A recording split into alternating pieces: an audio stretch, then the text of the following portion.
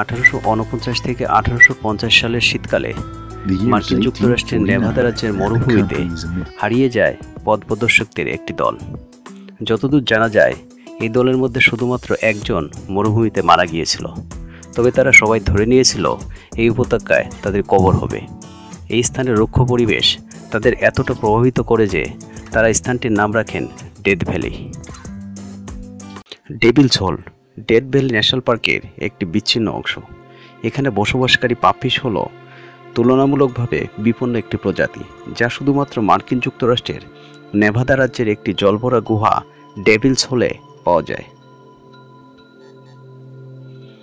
এটিকে প্রথম উনিশশো সালে একটি প্রজাতি হিসেবে বর্ণনা করা হয়।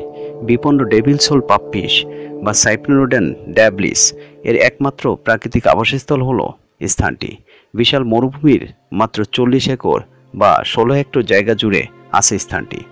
উনিশশো চুরাশি সাল থেকে স্থানটি একটি জাতীয় বন্যপ্রাণীর আশ্রয়স্থল হিসেবে ঘোষণা করা হয়েছে। অ্যাশমিডো তৃণভূমিটি নাভাদা রাজ্যের উত্তর পূর্বে প্রায় একশো মাইলেরও বেশি বিস্তৃত। এই তৃণভূমিটির নিচে আছে ভূগর্ভস্থ জলের এক বিশাল টানেল। ত্রিশটির বেশি ছিদ্রযুক্ত স্থান এবং ঝর্ণাধারার মাধ্যমে ভূপৃষ্ঠের জল ভূগর্ভে হাজার হাজার বছর ধরে জমে ভূগর্ভস্থ জলধারার সৃষ্টি করেছে। অ্যাসমিডোতে ছাব্বিশ প্রজাতির স্থানীয় উদ্ভিদ এবং প্রাণীর আবাসস্থল, যার মধ্যে তিনটি বিপন্ন মাছ, এদের মধ্যে দুইটি পাপফিস এবং সাতটি বিপন্ন উদ্ভিদ রয়েছে। পূর্ববর্তী প্লুভিয়াল ভেজা সময়ে অর্থাৎ প্লাস্টোসিন পিরিয়ডে আর্দ্র জলবায়ুর কারণে হাজার হাজার বছর আগে ডেথ ভ্যালি পানির নিচে ছিল। ডেথ ভ্যালি আসলে একটি বৃহৎ হ্রদ দ্বারা আচ্ছাদিত ছিল, যেটিকে ভূতত্ত্ববিদরা লেক ম্যানলি নামে নামকরণ করেছিলেন। ম্যানলি হ্রদ অনেক বড় ছিল, কিন্তু আবহাওয়ার পরিবর্তনের ফলে হ্রদে জল বয়ে আনা নদীগুলো ক্রমে শুকিয়ে যায়। পরবর্তীতে জলের অপর্যাপ্ত সরবরাহের কারণে স্থানটি শুষ্ক আবাসস্থলে পরিণত হয়। যা বর্তমানে অত্যন্ত ঠান্ডা আবাসস্থল এবং লবণাক্ত সমতল বিস্তীর্ণ মরুভূমিতে পরিণত হয়েছে।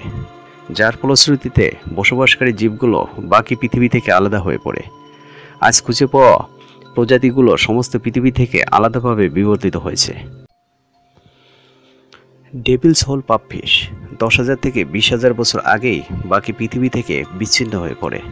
ডেভিলস হোল নিজেই একটি পাহাড়ের নিচে অবস্থিত একটি জলভর্তি গুহা। গুহাটি পাঁচশো ফুট, অর্থাৎ একশো বাউন্ন মিটার গভীর এবং নিচে এখনও ম্যাপ করা হয়নি। ডেভিলস হোল এবং তার বাসিন্দা পাপফিশ, স্থির তাপমাত্রা বিরানব্বই ডিগ্রি ফারেনহাইট বা তেত্রিশ ডিগ্রি সেলসিয়াস তাপমাত্রায় বসবাস করে এবং লবণাক্ত জলভূমি স্থির একটি অবস্থা প্রদান করে, যা অন্যান্য অনেক পাপফিসের আবাসস্থলের সম্পূর্ণ বিপরীত।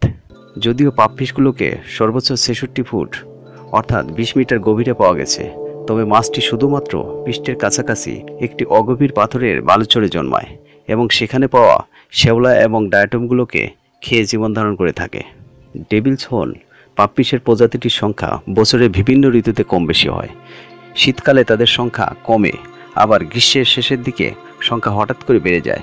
গবেষণায় উঠে আসে যে পাপ্পিসের সংখ্যা প্রাথমিকভাবে সেলফে উপস্থিত শৈবালের পরিমাণের উপর ভিত্তি করে ওঠানামা করে। শৈবালের বৃদ্ধি নির্ভর করে সৌর বিকিরণের পরিমাণ এবং জলে পুষ্টির ঘনত্বের উপর। সাম্প্রতিক সময়ে আরও চমকপ্রদ তথ্য পাওয়া গেছে। গুয়াহাটিতে একটি পেঁচা, টাইটো আলবা, বাসাবাদার স্থান হিসেবে ব্যবহার করে বছরের একটি নির্দিষ্ট সময়। পেঁচা জলে পুষ্টি সমৃদ্ধ মল এবং উচ্ছিষ্ট খাদ্যদ্রব্য নিক্ষেপ করে। ফলে পুলের পুষ্টির মাত্রা বেড়ে যায়। তখন পুষ্টির প্রাপ্যতা সবচেয়ে বেশি হয়। ডেভিলস হোল ইকোসিস্টেমের জ্ঞান ব্যাপকভাবে প্রভাবিত করেছে জীববিজ্ঞানীদের। দশ হাজার বছর ধরে বিদ্যমান এই প্রজাতিটিকে বাঁচানোর আপ্রাণ চেষ্টা করে চলেছেন তারা। আজ এ পর্যন্তই। দেখা হবে অন্য কোনো ভিডিওতে। ধন্যবাদ এতক্ষণ সাথে থাকার জন্য।